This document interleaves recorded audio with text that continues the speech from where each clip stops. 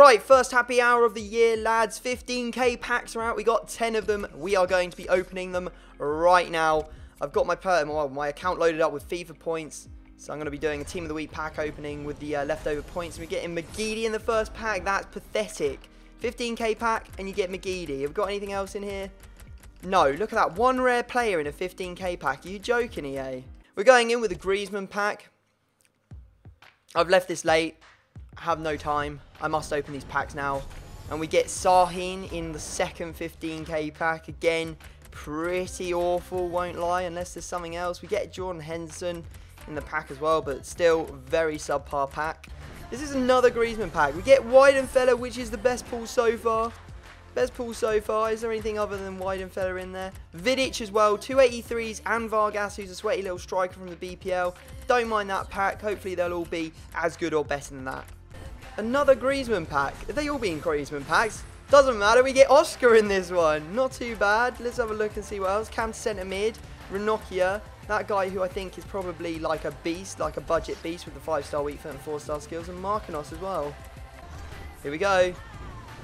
Oh, there's Inform Rondon. Oh, Javi Martinez too, 85 rated player. This might be the best pack that we've had.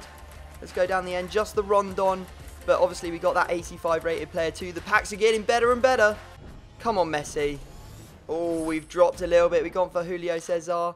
Only non-duplicate is Canna. Will there be anything else in the pack?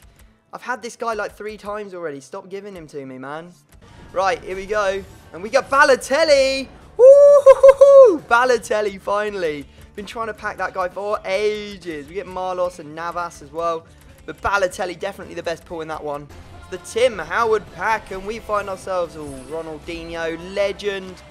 But unfortunately, he's not worth all that much this year. I'm not sure if he can go above discard. That sucks.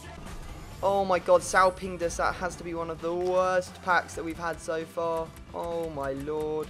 Right, here is the last pack of the first happy hour on FIFA 15. Please, EA, make it the happiest happy hour ever. Okay, that's just typical EA for you, giving me a player that absolutely no one is going to want. But we did pack an inform. We did manage to pack an 85. We did pack Balotelli as well. So guys, I hope you have enjoyed the pack opening. Smash the like button if you have. Subscribe if you're new to my channel. But other than that, I'm going to have to leave it there. And I will see you all next time.